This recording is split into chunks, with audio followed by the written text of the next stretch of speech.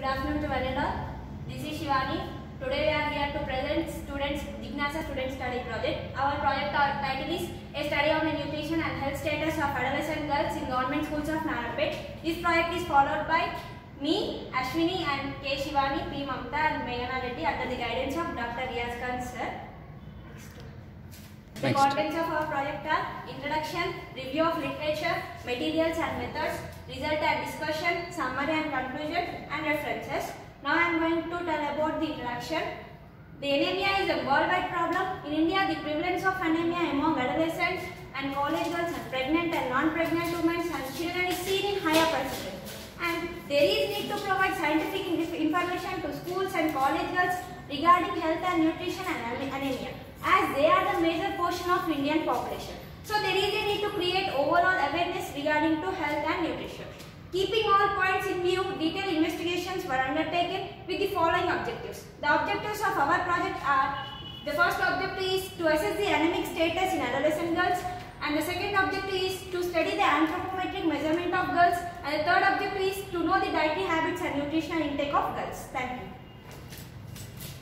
Good afternoon to all. Myself and Medina. I am presenting our project reference review of literature. First one is Chidram et al., Premlata et al., Savita et al., Imtiaz Ali, a survey conducted by party WHO on our project review of literature. Thank you. About materials and method. We have 250 students of government schools of Narayanpet and the study sample was selected using the following methods. The first method is hemoglobin color scale method and the second method is anthropometric measurement method and the third method is questionnaire cum interview techniques. Thank you. Myself Shivani and I am going to present our, of our results discussions.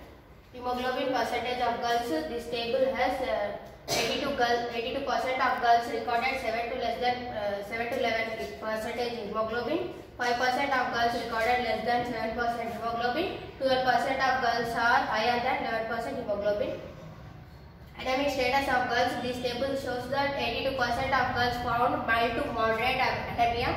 5% of girls found severe anemic. 12% of girls are non-anemic. 46% of girls recorded underweight. 13% of girls recorded overweight. 6% of girls are obese. 33% of girls are non-overweight.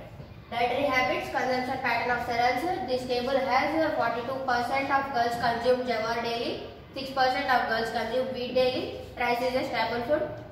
Consumption of vegetables by girls. This table revealed that 1% of girls eat vegetables daily, 56% of girls eat vegetables weekly, 2% of girls eat vegetables daily.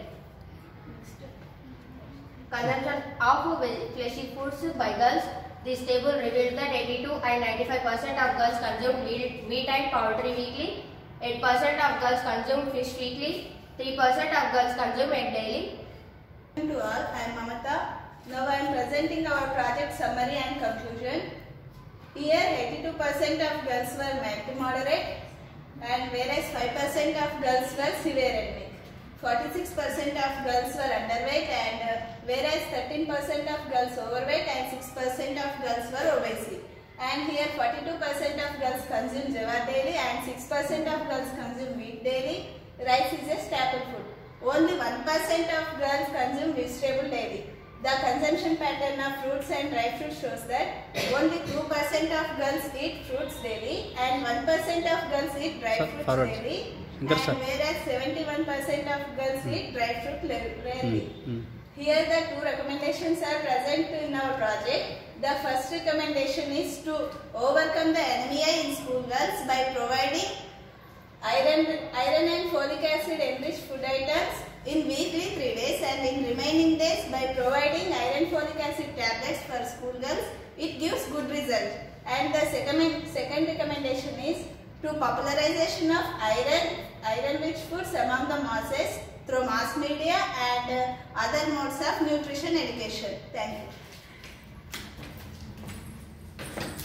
Now I am presenting our project references. Our project references are that is Furstenberg, Gupta Hilton Imtiaz Ali Cruz party Premlata et al Sarita et al Sidraman W and World Health Organization R product preferences thank you